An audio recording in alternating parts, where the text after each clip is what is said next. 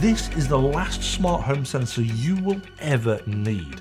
It's called the Multisensor 7 by Aeotec and it features seven different readings. No, no, six. Sorry? Six. Why is it called the Multisensor 7? I don't know, you tell me. Still, without a doubt, this has to be the ruler of all smart home sensors.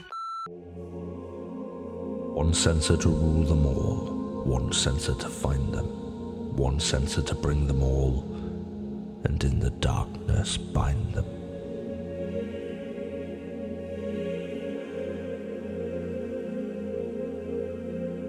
Honestly, it's a truly incredible smart home sensor because it can detect motion, vibration, read the temperature, check the humidity, tell you the light level, and even give you a UV reading. Now, I've been challenged yet again by Brian from Automate Your Life to save energy using Aeotec Kit for the hashtag Energy Challenge with the guys over at IFTTT, of course.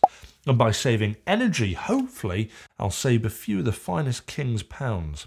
Now, after this video, you can go and take a look at the IFTTT Energy Challenge website to see some of the most amazing creators in the smart home community, show you some fantastic ways that you can use your smart home kit to save energy and money.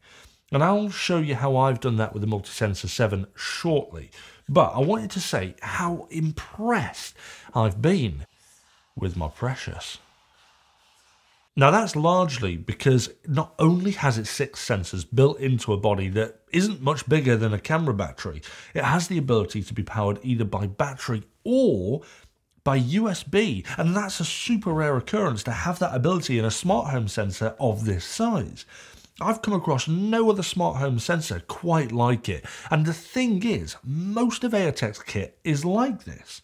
Take their door and window sensor 7 for example, which comes with the ability to detect not just open and close, but also if installed on a window, it can detect tilt. Take a look at the Siren 2, which has a built-in backup battery and a 1000 lumen alert light. Take a look at this. Jesus Christ! Even the Aeotec Smart Button, something that typically only performs a single function, being a button, actually has a temperature sensor in it. Most of their kit has something extra as a tiny little sweetener, and in effect, this means that you need less kit in the same area than if you used other smart home systems. But it's all very well and good having a spec sheet as long as my legs, and being 6 foot 8, that's quite long. The question is, do these specs actually hold up to scrutiny? How well do the Aeotec sensors perform? Taking a look at the detection history, it's quite clear that the temperature is working very, very well, as is the humidity sensors. Both of these readings seem to match that from other devices. But what about motion? How quickly will it detect movement when I start to move? Oh, right. Well, apparently that fast. Okay, so the motion detection works, but what about tamper detection? This uses the built-in vibration sensor, which is supposedly able to detect tampering when the device is moved, for example. But according to Aeotec, it can be used to detect seismic activity within the house. Just how sensitive this is to vibrations, we unfortunately won't know though, because the only data we can pull from this device using SmartThings is if it's been triggered or not. But we can always try and find out what the minimum disturbance it needs to be a trigger. Will this activate by just jumping? It did!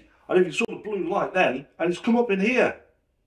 Look at that. The only thing I haven't been able to test is the UV index, and that's because it's the dead of winter here, and the UV index sits at zero for nearly six months of the year. But it's safe to conclude that from my completely scientific tests that this device lives up to its specs.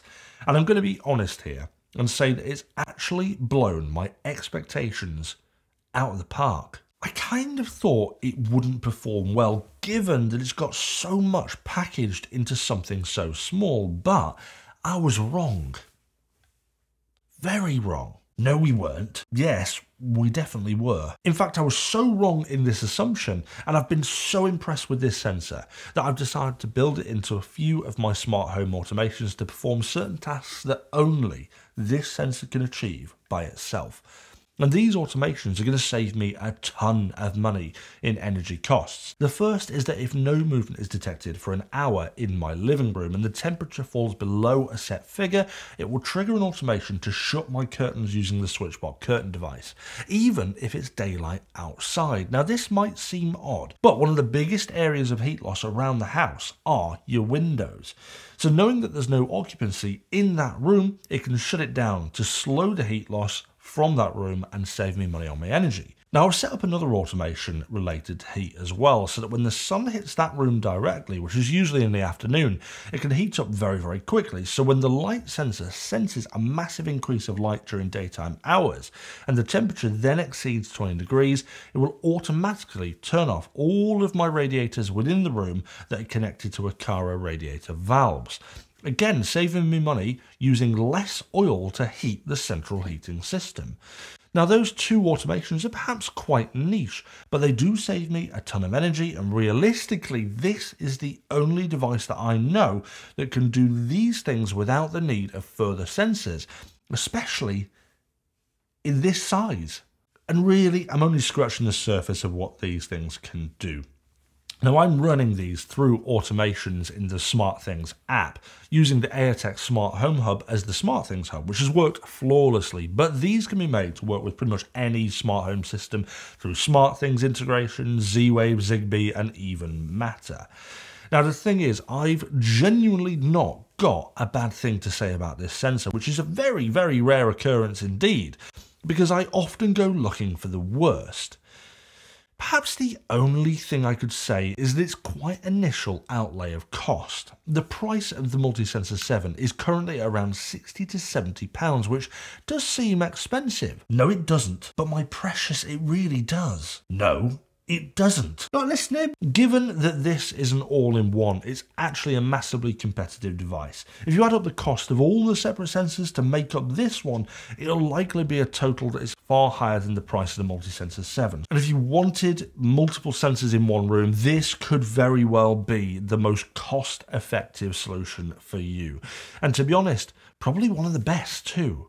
If you enjoyed today's episode, don't forget to hit that like and subscribe. I'm trying to reach 100,000 subscribers by the end of the year, and every subscriber really helps. And if you're already a subscriber, make sure you hit that thumbs up button for me.